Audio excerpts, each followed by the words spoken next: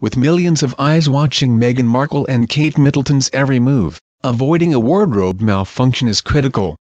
Etiquette expert Myka Meier revealed that the stylish royal pair have a sneaky trick to stop their skirts blowing up in public and revealing their underwear. Kate Middleton, the Duchess of Cambridge, was caught out by a strong gust in Calgary, Canada, in 2011. The leggy royal skirt on her pretty yellow dress was lighted up by a gust of wind, exposing her thighs. This Marilyn Monroe moment is an unusual fashion faux pas for a member of the British aristocracy.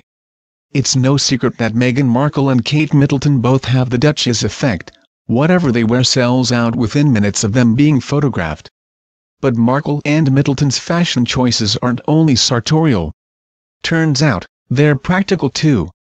In an interview with The Sun, Myka Meier, an expert on royal etiquette, revealed the Duchess of Sussex and Cambridge swear by one smart trick to keep their skirts and dresses from flying up Marilyn Monroe style.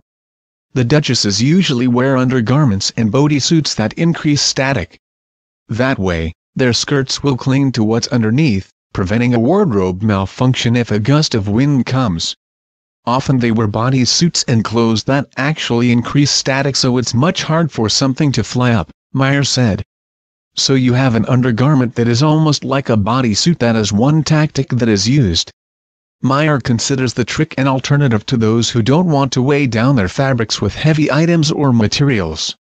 If you do not use weights or heavy weighted material, you make sure it will not fly up by wearing undergarments that keep the fabrics connect to your body, Meier said. In contrast, Queen Elizabeth II uses a different hack to keep her skirts from flying. In 2012, the Queen's courtier, Stewart Parvin, told the Daily Mail that the Queen uses lead curtain weights on the hem of her skirts to weigh them down. Instead of clinging to her undergarments like Markle and Middleton, the Queen's skirts use small weights, about the size of a pea, to block the wind. I just pop a couple of weights into the hemline of her dresses and coats and it makes them hang beautifully.